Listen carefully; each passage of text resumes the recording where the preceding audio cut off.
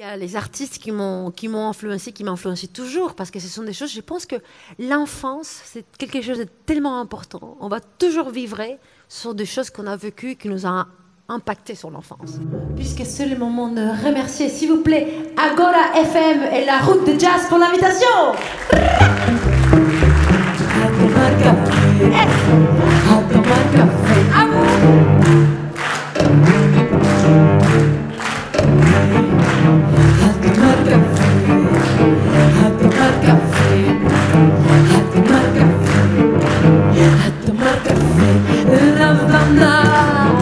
Santa Clara, de Matanza, de Santa Fe, de La Habana, de Santa Clara, de Matanza, de Santa Fe.